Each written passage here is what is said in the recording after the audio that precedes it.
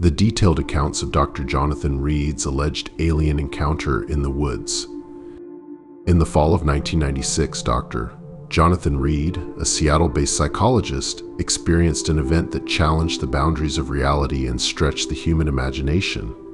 While hiking with his golden retriever, Suzy, in the Cascade Mountains near Seattle, Reed encountered what he claims was an extraterrestrial life form. That day, while the pair wandered through the wilderness, Suzy dashed off into the woods after something that had caught her attention. After a few minutes of searching for her, Reed was drawn to a strange, high-pitched oscillating sound. As he approached the source of the noise, he stumbled upon a nightmarish scene. A bizarre, otherworldly creature was standing over the lifeless body of Suzy. But before we get into it, don't forget to subscribe to the Dr. Creepy Show. It's a small click for you, but for us, it really means a lot. Have such sights to show you. Now let's get into it, shall we?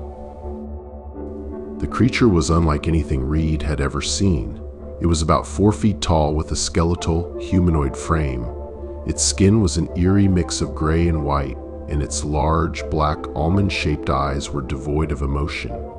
Reed reported that the creature seemed to be wearing a seamless, metallic black suit that covered its entire body. According to Jonathan, the creature was described as humanoid, with a height of around four feet. It had large, black, almond-shaped eyes, and its skin was gray-white, almost like parchment. Its body was stiff and cold, and it didn't seem to have a muscular system like humans do. It didn't have a nose or ears, and its mouth was merely a small slit. Reed claimed that the creature wore a black, metallic garment that was extremely resilient and a silver bracelet on its left wrist. In a state of shock and grief over the loss of Suzy, Reed picked up a large branch and struck the creature, which fell unconscious. Reed then did something utterly astonishing. He brought the creature in an obelisk-shaped device it had been holding home with him. Now for the evidence. Over the next few days, Reed took numerous photographs and videos of the creature and the device. The device, according to Reed, had the ability to render the creature and itself invisible and create a distortion field around them. Reed also reported that the creature was alive for a short period in his home before it vanished, leaving behind only the device. According to Jonathan, the creature was described as humanoid with a height of around 4 feet. It had large, black almond-shaped eyes and its skin was gray-white, almost like parchment. Its body was stiff and cold, and it didn't seem to have a muscular system like humans do. It didn't have a nose or ears, and its mouth was merely a small slit. Reed claimed that the creature wore a black, metallic garment that was extremely resilient and a silver bracelet on its left wrist. Dr. Jonathan Reed claimed to have a plethora of evidence supporting his alien encounter. He captured the entity in the obelisk-like device it was holding in a series of photographs and videos, which he later shared with the public. Here are the primary pieces of evidence Reed presented. Number 1. The photographs and videos. The most compelling evidence Reed provided were images and video recordings of the alleged extraterrestrial entity and the mysterious device. The creature appeared humanoid but distinctly non-human, with grayish-white skin and large, black, almond-shaped eyes. The device, on the other hand, was obelisk-shaped and according to Reed, had the power to render the creature and itself invisible and create a distortion field around them. Number 2. The physical evidence. Reed claimed to have retained physical evidence from his encounter.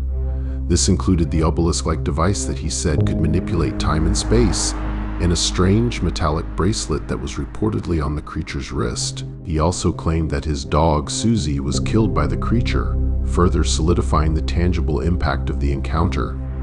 Number 3. Witness Testimony Reed's friend, Robert Wraith, vouched for his story. Wraith claimed to have seen the creature while it was in Reed's home, providing a second-hand witness account of the incident. Number 4.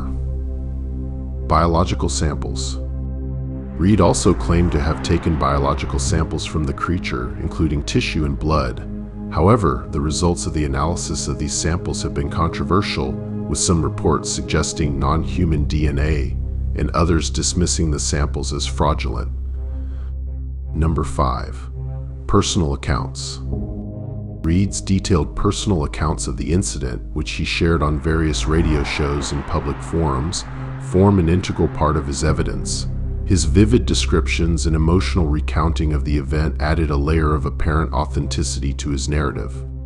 Despite the amount of evidence Reed presented, many skeptics have questioned the authenticity of his claims. Criticisms range from the quality and credibility of the photographic and video evidence to the alleged inconsistencies in his story and the lack of independent verification of the physical and biological evidence. Regardless of the controversy, Reed's account remains one of the most famous and hotly debated stories in the annals of UFO encounters. Reed's story quickly spread, captivating UFO enthusiasts and skeptics alike. He appeared on renowned radio shows such as Coast to Coast, where he shared his bewildering tale and the evidence he had gathered. However, Reed's account has been met with substantial skepticism. Many have claimed that his story is nothing more than an elaborate hoax, pointing to inconsistencies in his narrative and the lack of concrete evidence. Despite the controversy, Reed's story remains one of the most intriguing and debated cases in UFO history. Whether or not one chooses to believe in Reed's encounter, it certainly provides plenty of material for thought about the existence of extraterrestrial life and the nature of our reality. If you like this type of content, check out our other videos based on true accounts. We cover everything from ghosts, poltergeists, time slips, the strange and the unusual, and even your favorite movies.